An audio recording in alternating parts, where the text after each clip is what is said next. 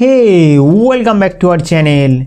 In today's video, I will tell you how to set or change ringtone.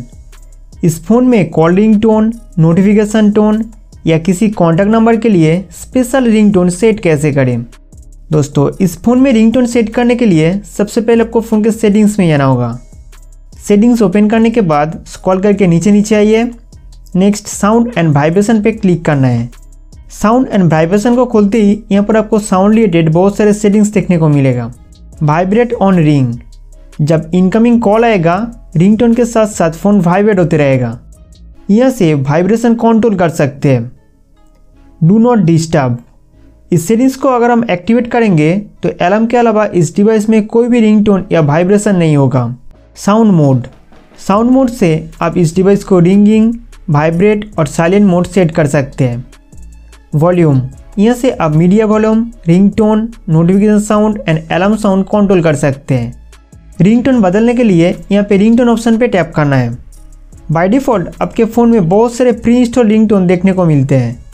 इनमें से आप कोई भी रिंगटोन सेट कर सकते हैं। अगर सिस्टम रिंगटोन आपको पसंद नहीं आ रहा है तो इंटरनेट स्टोरेज से डाउनलोड किया गया रिंगटोन सेट कर सकते हैं। यहाँ ऑन दिस डिवाइस पे टैप करना है। इसके बाद म्यूज़िक के अंदर आपके फ़ोन में जितना भी गाना है, वो चले आएगा। अगर आपने कोई वॉइस रिकॉर्ड करके रखे तो वो रिकॉर्डिंग में मिल जाएगा।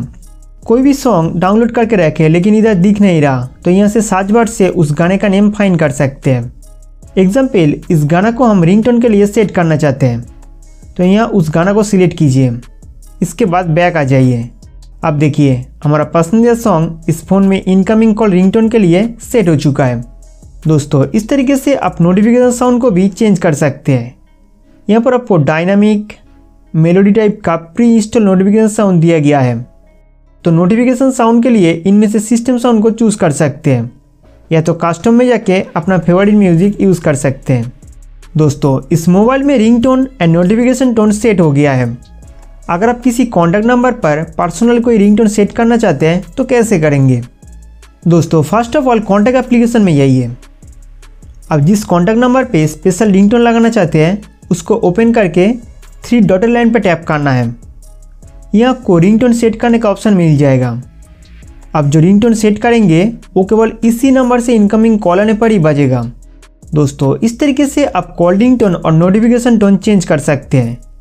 उम्मीद करता हूँ कि ये वीडियो आपके लिए बहुत हेल्पफुल था। तो इस वीडियो को लाइक करके हमारा चैनल सब्सक्राइब करना ना भूलें।